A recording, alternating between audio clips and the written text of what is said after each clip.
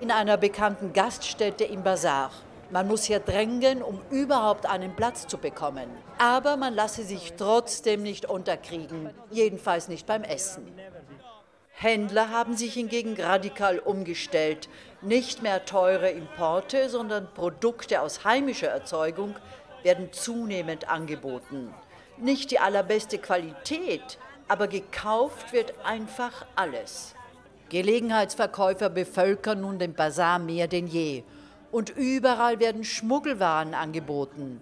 Wie früher, als Iran schon jahrzehntelang unter amerikanischen Sanktionen stand die vielen Facetten von Überleben im Iran, weil der amerikanische Präsident Donald Trump es so will.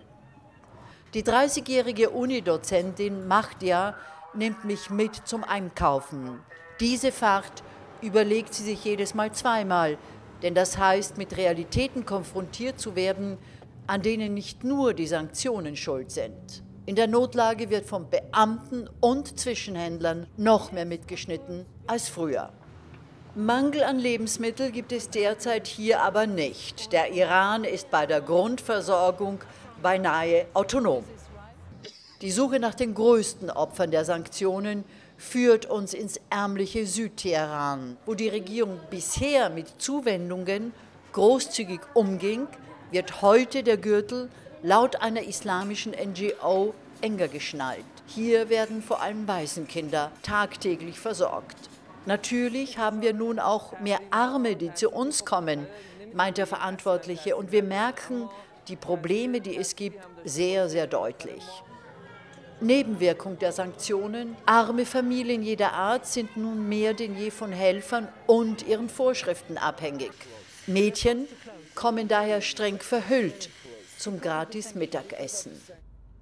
In dieser Industriezone wären westliche Geschäftsleute zwar willkommen, aber aus Angst, die Amerikaner zu vergrämen, bleiben auch die Europäer weg. Laut des Managers werden keine militärischen, sondern zivile Ersatzteile für Bohrmaschinen hier hergestellt. Er sagt uns aber, dieser Betrieb sei einer der wenigen, der in der Zone überhaupt noch offen sei. Armes Isfahan wo westliche Touristen genauso wie Geschäftsleute vorsichtshalber wegbleiben. 30 Prozent weniger Besucher sind es heute als noch 2018. Die Iraner sind dabei alles andere als fremdenfeindlich. Die meisten Iraner fühlen sich schuldlos einem Konflikt ausgeliefert, für den sie eigentlich nichts können. Auf der einen Seite das Regime, das bei vielen Iranern unpopulär ist, und auf der anderen Seite Donald Trump, der amerikanische Präsident. Auch er hat im Iran nicht sehr viele Freunde. Die Iranerinnen und Iraner hoffen zumindest, dass die eine oder die andere Seite irgendwann einmal nachgeben wird. Die iranische Bevölkerung lebt heute zwischen Angst und Hoffnung. Angst vor einer weiteren Zuspitzung der Lage und Hoffnung, dass der Schatten der Sanktionen vielleicht wieder verschwinden wird.